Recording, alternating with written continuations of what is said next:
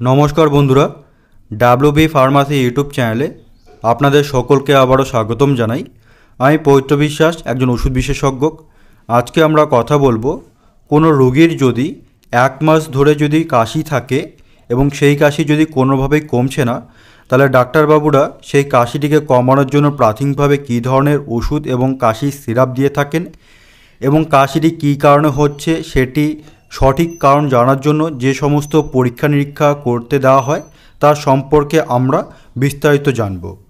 যদি আপনি ভিডিওটি প্রথমবার দেখছেন, যদি ভিডিওটি ভালো লেগে থাকে, তাহলে অবশ্যই চ্যানেলটিকে সাবস্ক্রাইব করবেন এবং ভিডিওগুলিকে লাইক করবেন। তো দেখুন বন্ধুরা, প্রত্যেকটা প্রেসক্রিপশান সমাধান করার আগে যেটা ভালো মতো খেয়াল করতে হয়, প্রেসক্রিপশানে পেশেন্টার নাম পেশেন্টার সেক্স, যেমন এখানে মেল পেশেন্টার বয়স এখানে উনিশ বছর দেওয়া আছে কিনা সেটা খেয়াল করতে হবে। তো দেখুন, এখানে পেশেন্টটি ডাক্তারবাবুকে যে জিনিসটি জানান, যে ওনার কাশি রয়েছে এবং ডাক্তারবাবু সেই কাশিটিকে চিহ্নিত করেন, প্রায় এক মাস ধরে কাশিটা রয়েছে। দেখুন বন্ধুরা, কাশি কিন্তু বিভিন্ন রকম কারণে হতে পারে। সাধারণত মানুষের মধ্যে কাশি যে কারণে হয়, সেটা হচ্ছে যদি কোনো পেশেন্টের যদি কোনো ব্যাকটেরিয়া বা কোনো ভাইরাস দ্বারা সংক্রমিত হয়, সেক্ষেত্রে কিন্তু কাশি অনেকদিন থাকতে পারে। এবং আবার কিছু কিছু মানুষের ক্ষেত্রে দেখা যায় কারও যদি শ্বাসকষ্টজনিত কোনো সমস্যা থাকে, যাকে বলা হয় অ্যাস্থমা, সেক্ষেত্রেও কিন্তু কাশি সাধারণত হয়ে থাকে। আবার কোনো মানুষ যদি কোনো নেশা করেন, তামাক জাতীয় কোনো নেশা, তাহলে সেক্ষেত্রেও কিন্তু কাশি হতে পারে। তো এক্ষেত্রে ডাক্তারবাবু সেই কাশিটিকে কমানোর জন্য প্রাথমিকভাবে যে চিকিৎসা দেন, সেই চিকিৎসার জন্য যে ওষুধ, সেই ওষুধ সম্পর্কে জানব। তো প্রথম যে ওষুধ দেওয়া হয়। দেখুন, এখানে ট্যাবলেট লেখা রয়েছে, অ্যামোক্সি কত মিলিগ্রাম? পাঁচশো এমজির এই অ্যামোক্সি পাঁচশো এমজির ওষুধটি, যেটা পেনিসিলিন গ্রুপের একটি অ্যান্টিবায়োটিক, যার কম্পোজিশন হচ্ছে অ্যামোক্সিসিলিন পাঁচশো মিলিগ্রাম। মতো খেয়াল করবেন, এটা তো পেনিসিলিন গ্রুপের অ্যান্টিবায়োটিক। এই পেনিসিলিন গ্রুপের মধ্যে কিন্তু বিভিন্ন রকম অ্যান্টিবায়োটিক আসে, তার মধ্যে এটা হচ্ছে একটা অ্যামোক্সিসিলিন। খাওয়ার নিয়মটা বলেছে টিডিপিসি। টিডিপিসি একটা ল্যাটিন কোড, যার সম্পূর্ণ নাম ল্যাটিন ভাষায় হচ্ছে টার ইন ডাই, টিডি মানে টার ইন ডাই, আর পিসি মানে পোস্ট সাইবোস, অর্থাৎ খাবার পর দিনে তিনবার, সকালে একবার, দুপুরে একবার, রাতে একবার, খাবার পর। কন্টিনিউ কতদিন খাওয়ার কথা বলা হয়? দেখুন, এখানে কন্টিনিউ পাঁচ দিন খাওয়ার কথা বলা হয়েছে। এই অ্যান্টিবায়োটিকটি ভারতের মধ্যে বিভিন্ন রকম ব্র্যান্ড নেমে কিন্তু পরিচিত। যেমন অ্যালমক্স পাঁচশো, সিপমক্স পাঁচশো, অ্যামক্সি প্লাস, নোভোমক্স পাঁচশো এবং বিভিন্ন দেশে বিভিন্ন রকম ব্র্যান্ড নেমে কিন্তু পরিচিত রয়েছে। এই অ্যান্টিবায়োটিকটি যেটি অ্যামক্সিসলিন নামে পরিচিত, এটা কিন্তু সাধারণত ব্যাকটেরিয়াল ইনফেকশনগুলোকে ট্রিটমেন্ট করার জন্য ব্যবহার করা হয়। অর্থাৎ কাশিটা যে ব্যাকটেরিয়া সংক্রমণের কারণে হচ্ছে, সেটাকে নিরাময় করার জন্য দেওয়া হয়েছে। এই অ্যান্টিবায়োটিকটা যেহেতু পেনিসিন গ্রুপের অ্যান্টিবায়োটিক, এটা কি করবে? কোনো ব্যাকটেরিয়া বা যে সমস্ত ব্যাকটেরিয়ার কারণে কাশি হচ্ছে, সেই ব্যাকটেরিয়াগুলোকে মেরে ফেলবে। কীভাবে সেটা করবে, এটা কি করবে, ব্যাকটেরিয়াগুলো যে আবরক দ্বারা নিজেদেরকে বাঁচিয়ে রাখতে সক্ষম হয়, সেই আবরকটা আর তৈরি হতে দেবে না। এইভাবে কিন্তু ব্যাকটেরিয়াগুলোকে আস্তে আস্তে এই অ্যান্টিবায়োটিকটি মেরে ফেলবে। এরপর যেটা দেওয়া রয়েছে পেশেন্টটিকে, একটি সিরাপ দেওয়া রয়েছে, ভালো মতো খেয়াল করবেন, একটা সিরাপ দেওয়া রয়েছে কাশির জন্য, সেটা কি অ্যামরোডিল এস নামে পরিচিত ভারতে, যেটা অ্যারিস্টো ফার্মাসিউটিক্যালস প্রাইভেট লিমিটেড কোম্পানির তৈরি। এই ওষুধটি খাওয়ার নিয়ম বলেছে দশ এম করে টিডিপিসি। টিডিপিসি ল্যাটিন কোড যার সম্পূর্ণ নাম টারিন ডাই পোস্ট সাইবোস পোস্ট সাইবোস কথার মানে হচ্ছে খাবার পর, আর টারিন ডাই মানে দিনে তিনবার, অর্থাৎ দিনে তিনবার খাবার পর এই সিরাপটি নিতে হবে। এই সিরাপটা কন্টিনিউ পাঁচ দিন খাওয়ার কথা বলা হয়েছে। এই সিরাপটা খেয়ে সঙ্গে সঙ্গে কিন্তু পেশেন্ট কোনোভাবেই জল পান করবে না। জল পান করলে কী হবে? কাশি সিরাপের মূলত কাজ হচ্ছে মিউকাস অর্থাৎ গলার মধ্যে যে মিউকাস মেমব্রেন আছে, তার মধ্যে যেন কিছুক্ষণ লেগে থাকে। জল পান করার সঙ্গে সঙ্গে কিন্তু মিউকাস সহ ওষুধের যে লেয়ারটা, সেটা কিন্তু পুরোপুরি স্টোমাকে চলে যাবে। তাহলে ওষুধ কিন্তু এই সিরাপটা ভালো মতো কাজ করবে না।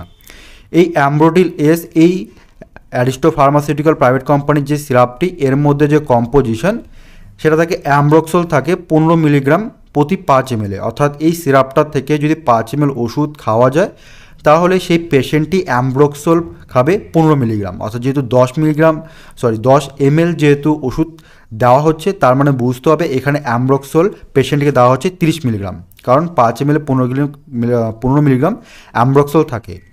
এবং তার সঙ্গে এর মধ্যে থাকে সলবিটামল, যেটা তিন মিলিগ্রাম থাকে সরি এক মিলিগ্রাম থাকে প্রতি পাঁচ এমএলে অর্থাৎ পাঁচ এমএল ওষুধ সেবন করলে এক মিলিগ্রাম সলবিটামল পাবে। এই দুটো কম্পোজিশন একত্রিত হয়ে কফটাকে নিরাময় করার জন্য দেওয়া হয়। অ্যাম্ব্রক্সল যেটাকে বলা হয় মিউকোলাইটিক। এবার মিউকোলাইটিক কি আপনাদের প্রশ্ন হতে পারে। মিউকোলাইটিক হচ্ছে এক ধরনের এজেন্ট যেটা কি করবে, আমাদের যে মিউকাসগুলো যেগুলো লাংসের মধ্যে লেগে থাকে, ফুসফুসের মধ্যে লেগে থাকে, সেটাকে পাতলা করতে এবং লুজ করতে ব্যবহার করা হবে, যার ফলে কপটা সহজে বাইরে বেরিয়ে আসতে পারবে। এবং তার সঙ্গে যে সলবিটামল রয়েছে, এটাকে বলা হয় ব্রঙ্কোডাইলেটার এজেন্ট। ব্রঙ্কোডাইলেটার কথা মানে কি? এটা কি করবে? যে আমাদের শ্বাসনালী যে স্মুথ মাসেলগুলো রয়েছে, সেটাকে পুরোপুরি রিল্যাক্স করে দেবে।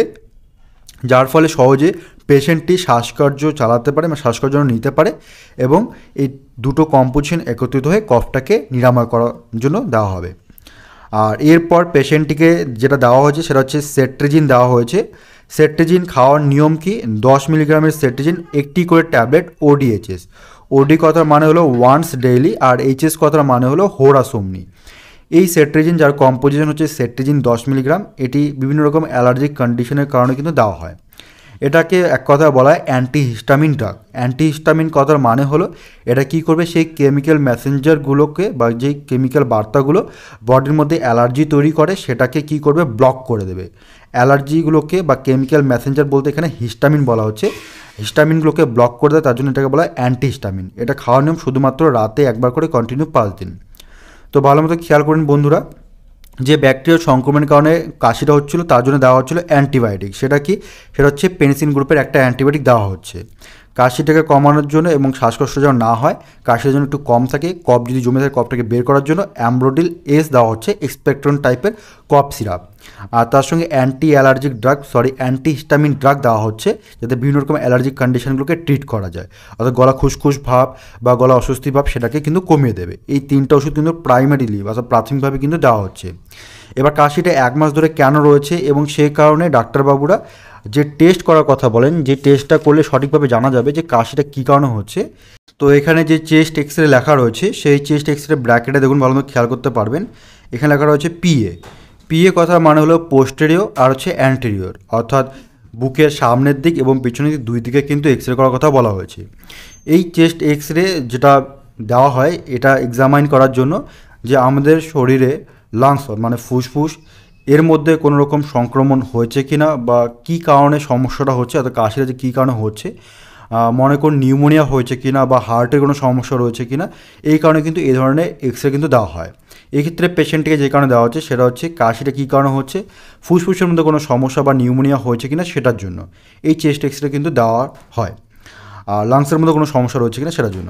এবং তারপরে আরেকটা যে টেস্ট দেওয়া হয় সেটা হচ্ছে স্পুটাম এএফবি ব্যাকেটে ধরুন টু ডেস লেখা রয়েছে। স্পুটাম এএফবি এই এএফবি কথার মানে হলো acid fast bacillus acid fast bacillus হলো এক ধরনের ব্যাকটেরিয়া যার কারণে সাধারণত বেশিরভাগ পেশেন্টদের টিউবারকিউলোসিস যেটাকে শর্ট ফর্মে টিবি বলা হয় টিউবারকিউলোসিস ইনফেকশনটা কিন্তু হতে পারে। টিউবারকিউলোসিস ইনফেকশনটা কিন্তু সাধারণত যেটা মেনলি ফুসফুসের মধ্যেই হয়। ফুসফুস বাদে কিন্তু অন্যান্য অর্গান বা বিভিন্ন রকম বডির অংশে কিন্তু হতে পারে। ব্রেনে তারপরে স্পাইনে বা কিডনিতে এই সমস্ত জায়গায় কিন্তু হতে পারে। টিবি যদি হয়ে থাকে বা টিউবারকিউলোসিস যদি হয়ে থাকে, তাহলে কিন্তু সেটা মানুষের থেকে মানুষের মাধ্যমে ছড়াতে পারে। সেটা কাশি বা সর্দির মাধ্যমে। এই অ্যাসিড ফার্স্ট ব্যাসিলাস টেস্ট কিন্তু দুই ধরনের হয়ে থাকে। একটা এএফবি স্মেয়ার বলা হয় টেস্ট আর একটা বলা হয় এএফবি কালচার টেস্ট সেই স্যাম্পেল স্মেয়ার স্যাম্পেলটিকে নিয়ে একটা গ্লাস সাইডের মধ্যে নিয়ে সেটাকে মাইক্রোস্কোপের সাহায্যে এক দুদিনের মধ্যে সেই রেজাল্টটা জানা যায়। আর ইএফবি কালচার যেই টেস্ট সেই স্যাম্পেলটাকে নিয়ে সেটার মধ্যে কিছু সাবস্টেন্স অ্যাড করে, সেখানে যদি কোনো ব্যাকটেরিয়া উপস্থিত থাকে, সেই ব্যাকটেরিয়াকে গ্রোথ করে সেটা মোটামুটি কিছুদিনের মধ্যে সেই রেজাল্টটা ধরা পড়ে। তো এই দুটো টেস্ট করে আলটিমেটলি যেটা জানা যাবে সে পেশেন্টটার লাংসের মধ্যে কোনো সমস্যা নিউমোনিয়া হয়েছে কিনা বা টিবি হয়েছে কিনা, সেটা জানার জন্য। তো প্রাথমিকভাবে কিন্তু এই ধরনের ওষুধ এবং এই ধরনের টেস্ট ইমিডিয়েটলি করে ডাক্তারবাবুকে দেখানোর কথা বলা হয়। মনে রাখবেন যে কোনো ধরনের কাশি যদি দুই থেকে মানে এক থেকে দুই সপ্তাহের বেশি যদি হয়, তাহলে সেক্ষেত্রে কিন্তু পেশেন্টকে খুব দ্রুত নিকটবর্তী কোনো রকম স্বাস্থ্য সেন্টারে বা হাসপাতালে কিন্তু সে রোগীকে পাঠানো উচিত। তো ধন্যবাদ বন্ধুরা সম্পূর্ণ ভিডিও দেখার জন্য। যে কোনো ধরনের ওষুধ সেবন করার আগে অবশ্যই একজন ডাক্তার বা একজন ফার্মাসিস্টের পরামর্শ গ্রহণ করবেন। ভালো থাকবেন, সুস্থ থাকবেন, দেখা হচ্ছে আবার পরবর্তী ভিডিওতে।